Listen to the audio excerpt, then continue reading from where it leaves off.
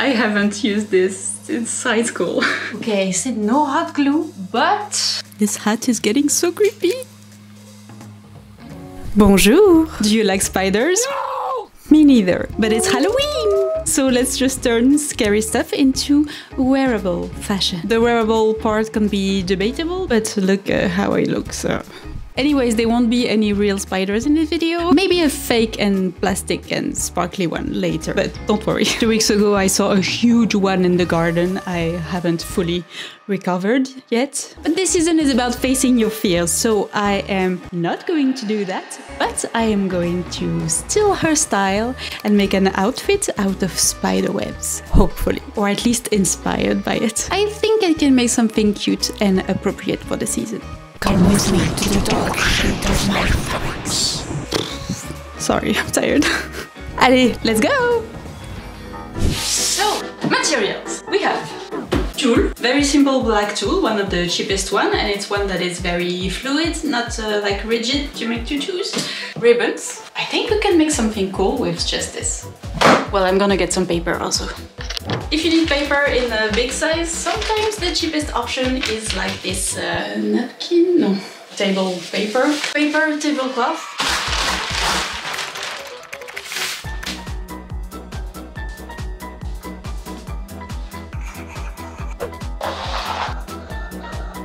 If I want my web to be three branches per quarter of fabric, one, two, three, this is all 30 degrees, so I haven't used this since high school.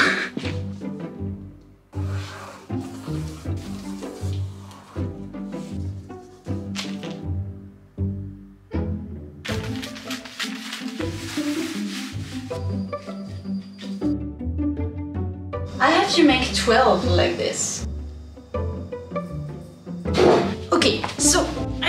Testing, but first of all I had to spend uh, four hours just working on this machine, which does not work anymore because this bunch of electronics just don't get the electronic machines, get the mechanical ones. I have to bring it to the specialist and it's going to cost a lot of money. I'm going back to this one, which is 20 years old and it's just perfectly working. But for this project, to attach the velvet on the tulle, I tried a few different ways. First was just pinning it in place and sewing it, but uh, the tulle is so fine, it has a little bit of stretch, so, so I found that I need to glue the velvet to the tulle before sewing it. I tried some textile glue, but it takes like a day for each strip to be secured enough so I can sew it, and it kind of leaves some white residues.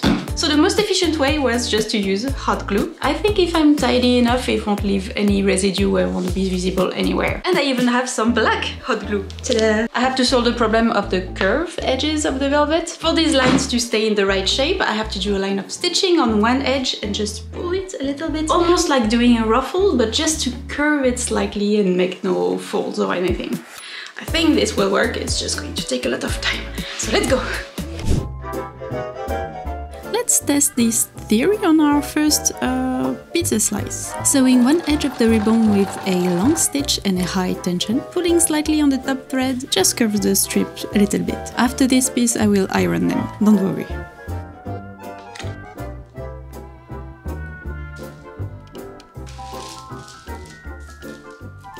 Now that the strip is kind of secured, I can actually sew it in place.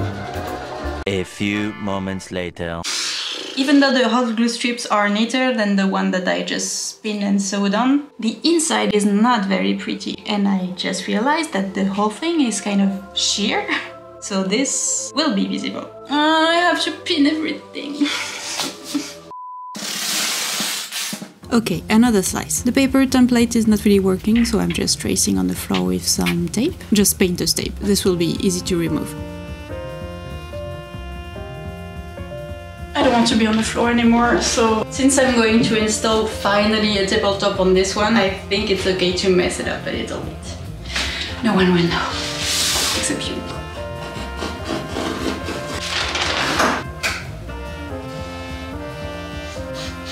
We need to work towards efficiency now. Let's cut everything in bulk.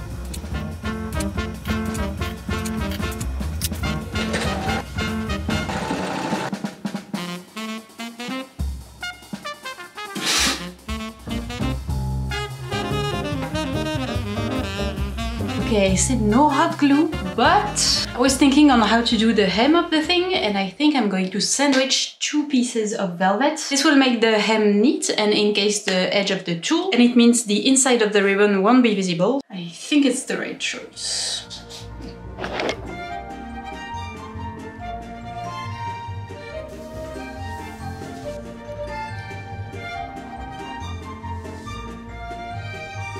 I do like it, but when it's all on the mannequin very straight like this, it doesn't look like a spider web, just like a, a sad uh, fishing net. But you do start to see the web when you do this. I don't know, trust the process again.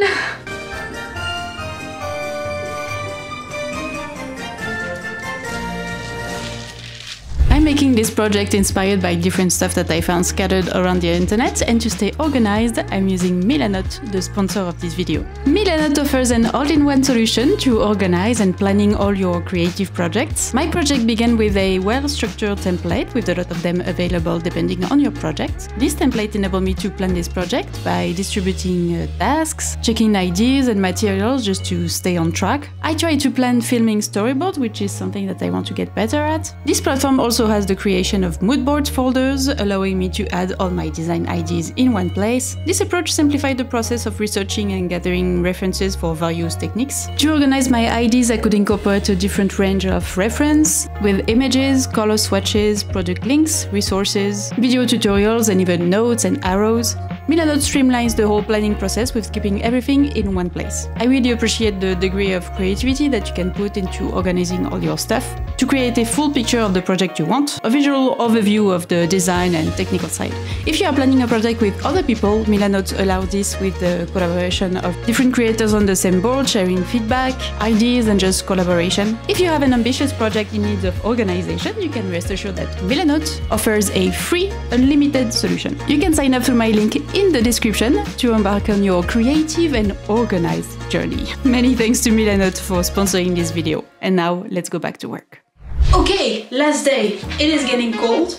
I'm getting comfy. I'm not wearing makeup. I just need to get this done because Halloween is coming up soon. Yes, I did put too many things on my schedule. Yes, I spilled my coffee on my white pants. But that's life. And sometimes you just have to keep going. And hopefully it will make the reveal transformation much more impressive.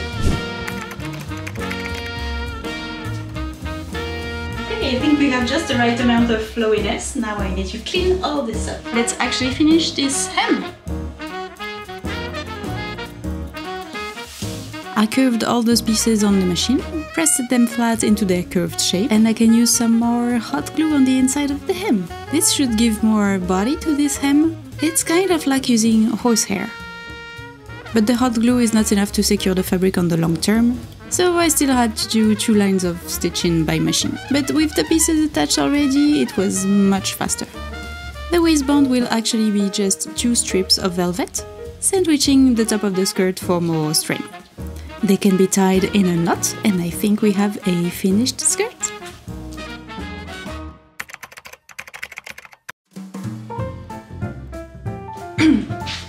I've gathered some materials to make some accessory, which is the part that I was most excited about this project. I want to do a hat, maybe more if I have time, but let's not get ahead too much. I have a scrap of velvet to match the skirt, rhinestones, a piece of linen that I drenched in uh, wood glue. This will be perfect to make hats, some wire, more sparkly things, and some uh, fake spiders. They are not very realistic, but I guess a trigger warning just in case. But it's, you know, these uh, fake ring ones? If I cut off all the edges, I will have a lot of little spiders. We'll see if this gets uh, too scary, even for me. I'm using the linen to make a slightly curved shape for my head. No measures, just vibes. I guess this is hat-ish enough. and I wanted the rim of the hat to look like a spider web. For this, all the structure will be made in wire. This is like the cheapest wire from the hardware store. Let's just trace a rough spider web shape just to check the size. Highly recommend having glasses on when you do some wire thing, because I got poked in the eye twice already.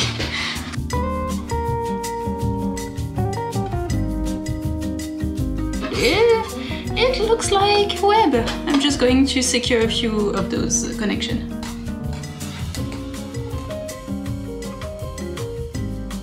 And since I'm really, really, really excited about my black hot glue, I'm just going to drench all the wire in it. Hopefully it will look a bit uh, gooey and also it will hide all the wire parts while just strengthening the whole thing. To match my skirt, I'm adding the tulle on the inside. This will not provide much shade for the hat, but I think it makes it much more intentional. It is kind of tricky to make sure that the tulle is flat on the web and the web is not flat at all. So I just have to use a million clips and just glue between the clips, wait for it to dry, remove the clips and glue the rest. It takes a while but I think it is worth it.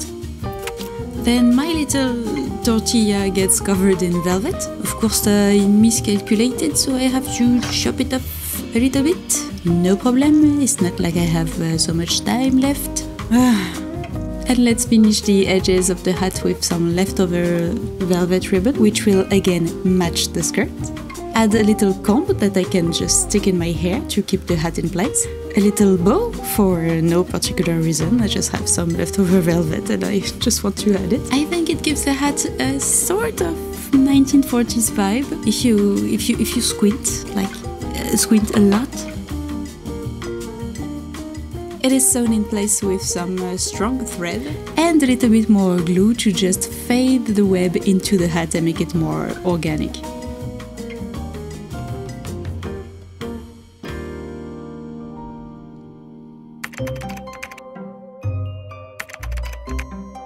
So I just finished the hat. It is midnight, but I still want to try a little bit something more. Chopping off the ring part of those little plastic spiders. I'm going to use a lot of hot glue on this last item. Uh, did I tell you how excited I was for this black hot glue? Let's get the rhinestones and hide the body.